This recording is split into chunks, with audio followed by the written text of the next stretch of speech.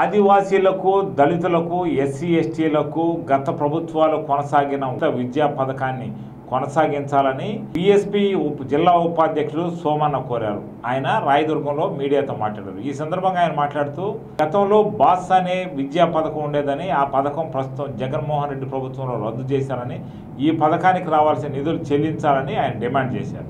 Bahujan Samaj party ఆధ్వర్యంలో best available scheme ద్వారా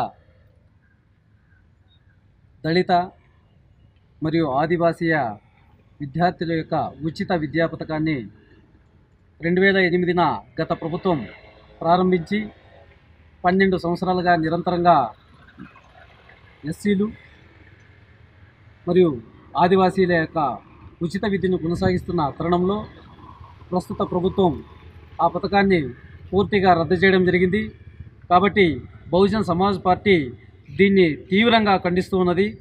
మరి ఉచిత విద్యను అందించే ఈ స్కీమును మేము అమ్మఒడికి ట్రాన్స్ఫర్ చేశామని చెప్పేసి చెప్పడం జరిగింది. మరి అమ్మఒడి తల్లుల ఖాతాల నుండి తండ్రుల ఖాతాలకు పోయి తండ్రుల ఖాతాల నుండి వైన్ షాపులకు పోతున్నదే కానీ పిల్లలకు విద్య చక్కనైన విద్య అందలేకపోతున్నది. కాబట్టి బహుజన సమాజ్ పార్టీ దీన్ని తీవ్రంగా ఖండిస్తూ ఆ పథకాన్ని పునరుద్ధరించాలని చెప్పేసి డిమాండ్ చేస్తున్నాము.